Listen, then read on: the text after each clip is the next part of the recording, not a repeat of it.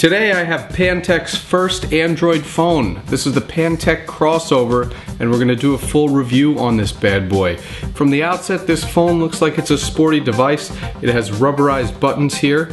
One is a lock power button, the other is a function button, a handy function button that uh, contains all of your most recent applications or your favorite applications. We'll get into that later. Uh, this is also a sliding QWERTY keyboard phone. So it has a full QWERTY keyboard I found it to be fairly intuitive.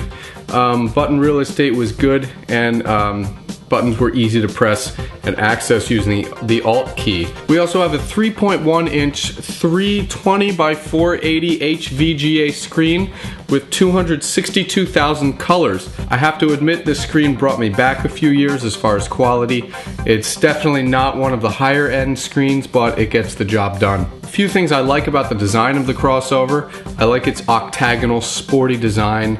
It's unconventional. I also like the enclosed USB terminal here, and I like the fact that we have our own dedicated camera button. Also, we have a 3 megapixel camera on back. There's no flash, no front facing camera, so very basic when it came to image quality. Image, still image quality, bright light. Some shots looked really good. Uh, most shots were mediocre. Video quality, 800 by 480 resolution. Um, same thing video quality is very mediocre to poor, so don't expect a, a, good imaging performance from this phone. In back, let's take the back off here. We have a 2 gigabyte micro SD card included, 512 megabytes of uh, storage in the ins on the inside. So this phone is light when it comes to memory. It has a 1500 milliamp battery. The battery life for standby was outstanding. This thing can go for a week more than a week just standing by Guts on the inside, we have a 600 megahertz Qualcomm processor, but it has Adreno 200 GPU technology, and that's what we can find in the new Windows Phone 7 devices in the original HTC Evo 4G. So it is a snappy little phone. It also has GPS and it has an accelerometer so we can play 3D games on this. Now let's jump into the tour with the Pantech crossover. Here's Pantech's first Android phone five home screens. And you can see how quick this little thing is, even with that 600 megahertz processor. Um, the drop down menu. And from an aesthetic point of view, I really like the design of this phone. I like the rounded icons here. Um, I like the colors. And another example of that is in the browser. We'll jump in the browser here. InfoSync. And uh, it will not play Flash content right within the browser, but it will kind of kick you out. Like the iPhone does into its own player. And that's cool. That's totally okay.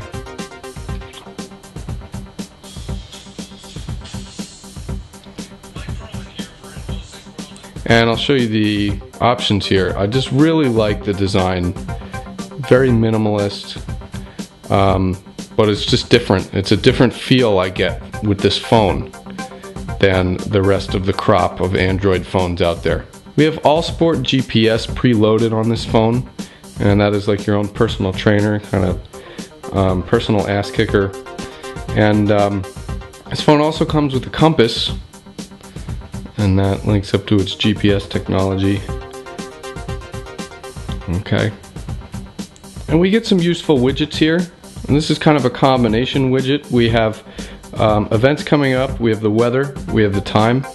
And let's go over to uh, just the weather widget there. And you can see we have the um, animation in the background, the animated wallpaper.